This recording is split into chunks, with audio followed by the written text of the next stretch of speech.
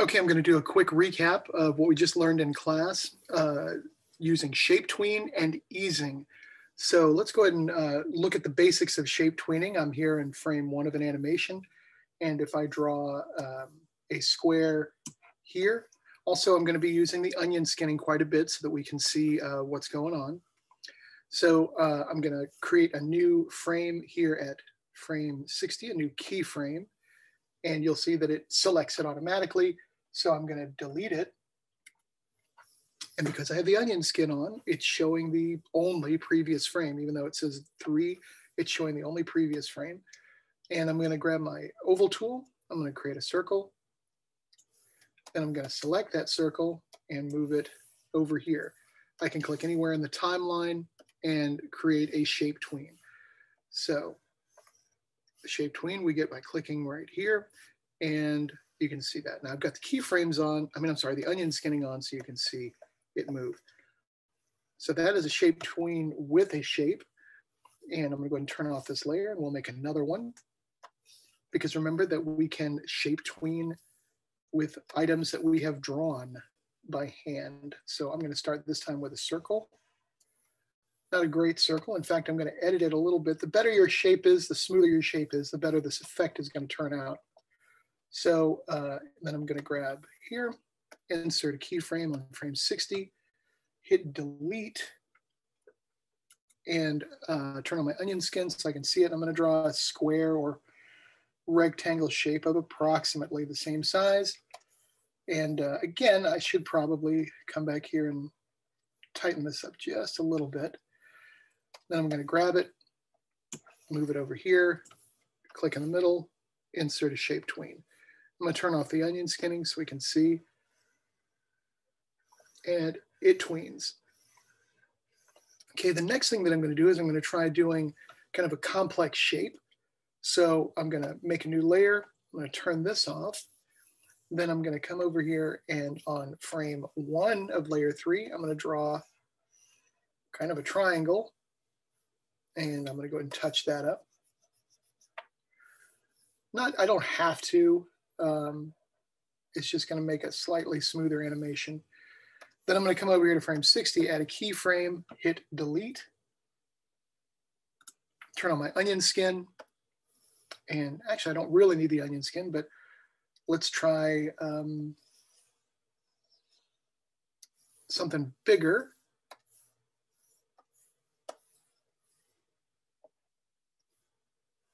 And let's move that over here.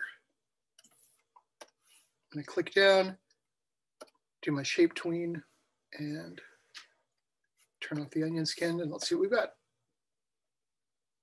So that's not too bad because basically we have three points there and kind of just two points really connected by two arcs. So let's try one other shape. and I'm gonna come here to frame one, turn off the visibility here, and I'm gonna make a triangle again. Then I'm going to come to frame 60, insert a keyframe, turn on my onion skinning so that I can see. And uh, I'm going to delete the shape. And uh, this time I'm going to make like a lightning bolt.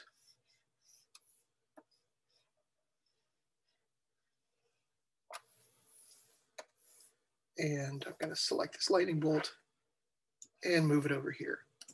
So got two very different shapes. If we click in here, and create a shape tween, we get some weird stuff. Turn off the onion skinning so you can see it. Because it's trying to figure out how to make all those points come out of these points. So if we watch it, it's pretty weird looking.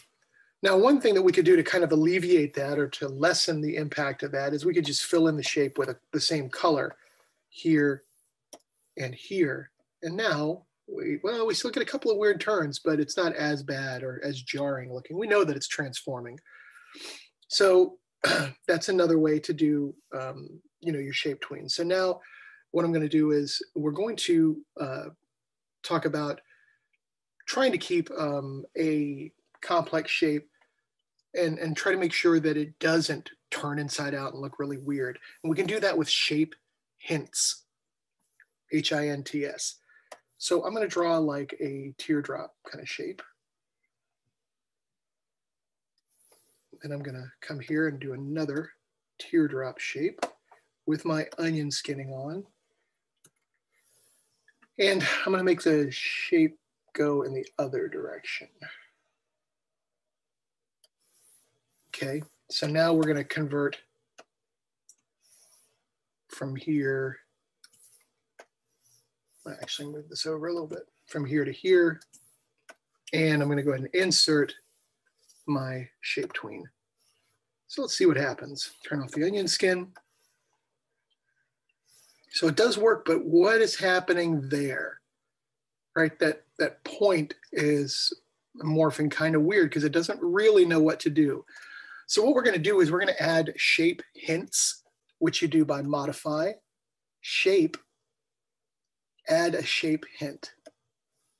And you'll see that it's like it says A. And when you put it, what I'm going to do is I'm going to, I'm basically going to put it on a part that is important. Like I'm telling the computer, try to make this look good, like, or, or look this way. So, and you'll see that it kind of magnetically pops onto the end and it should turn green when it's in the right place. And then we're going to go insert and you'll see modify shape, add a shape hint because remember it's seeing the inside and outside. So I need a B right there. So, and now when I come here to frame 60, I've got the same shape hints. and I can pop that in. That's very concerning that it's green there, but not here. Oh no, now it is because I've locked them together. So now let's take a look at it. Not bad, not perfect, but not bad. It's a lot better. So if we hit play, also if you want to not see those shape hints, but not delete them, you just say view um, hide, uh, well, show shape hints and turn it off. So they're still there, but they're just not in our way anymore. Okay, so the last thing that we're going to do is we're going to talk about easing. And that is basically that things in nature don't just move at one solid rate. When a car goes from zero to 60 miles an hour, there is an acceleration right before it hits 60. Um, and the same thing holds like when you go to move your arm, when you go to move your hand or or go to run, like your leg will start slower, then it'll build up momentum and inertia, and then it'll speed up. So what we want to do is when we have, um, if we click anywhere in the timeline, we see that over here under properties, we have tweening, and it may or may not be open on your screen, but if it's not open, you just click it here. And we've got effects right here. So let's, let's play this through one more time by itself with no easing. So you see it's a steady state. It moves at exactly the same rate. So what easing will do is it'll kind of slow it at the beginning, it'll pick up speed, and then it'll slow it before it gets to the end. So again, I have to be clicking somewhere in here, and then I'm gonna go to classic ease. So if we go to classic ease, right now it's at zero. That's why it doesn't look like there's any easing. So if I hit 100 or type in 100,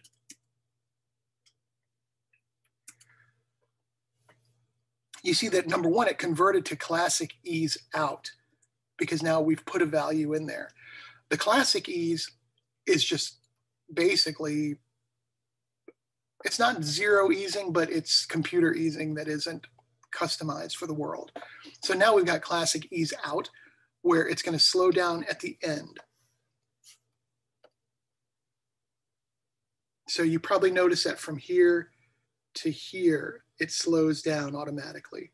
So let's take another look at it. And it slows down. Another ease that we can use, sometimes it's slow at the beginning and slow at the end. And what we do is, all we have to do is click on the classic ease out and we have other choices. So there we go. Now we've got classic ease and out, in and out. And let's go ahead and play that. Slow speeds up, slows down again. Show you again. Now, once we have that, we can also come in here And um, we can change it to other forms, like here's bounce. So we're in ease in and out, bounce. And let's see what that looks like. So if I move it back here. So basically it's kind of bouncing, not really good for this shape, but you can kind of see. And again, you haven't changed your animation. You're just doing it with the easing over here. So what we're going to do is we're going to make our own custom ease and out. So I'm going to choose my effect to be no ease. Hit my return key. Then I'm going to hit the uh, pencil. And what I want to do is I want to come in here. Now I've been messing with it, so that's why I've got a lot of points. I'm going to reset. If you see it, this is what we want to start off with. And basically you've got the beginning and the end. So I can click and drag and put um, a point here at the beginning. That means it's going to move really slowly at the beginning. And if I put a click and drag, it's going to move really slowly at the end. So we don't even have to get out of this window. We can just say play. So you can see that speed. And I can make it even more pronounced by clicking and dragging these two points closer together. So now it's going to go really slow, go really fast, and really slow. And basically, when you have a point, normally you're, it's upwards is the direction, is the linear direction to the, from left to right. But if you take any point, like I can add as many points as I want, if you take any point on this line and then make this point lower than the previous point, well, that means it's basically going to, go, going to move in reverse. So let's take a look at that. So you see how it bounced back? So I'll make it a little more pronounced. I can do the same thing here. Make it really dramatic. It's going to go almost all the way back to the beginning. Mm -hmm. And of course, I can edit this. I can also adjust the arc.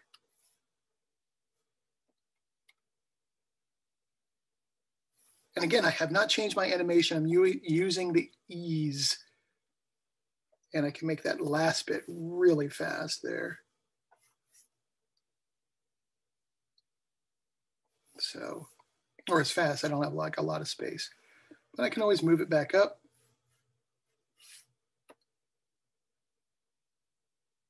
And you see this little dip right here is represented in the slight backward motion in the animation at the end. So we can say save and apply. And now we've got it in here. And it's called My Ease. And if I double click it, actually we should have named it when I was going through, but you get the idea. So I want you to experiment with the shape tweening and the easing, and uh, I want you to create your own animation and um, make it interesting. Try different, a couple of different variations. You can have different timelines doing different things. Um, in fact, you might have uh, the regular shape tween at the bottom using your shape tools, a hand drawn one, something like this drop where we use the hinting, and then, you know, on one of these layers adjust or multiple, adjust the easing. So you can maybe have four different things, four different lines like I do, um, or five, and uh, you can create something interesting and copy